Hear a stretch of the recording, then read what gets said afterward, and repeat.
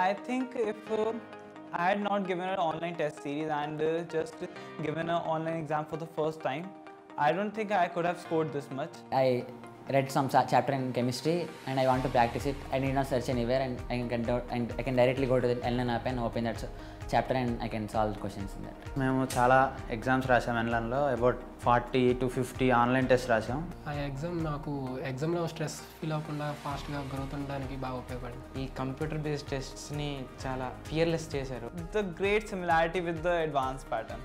Like they were pretty much actually same.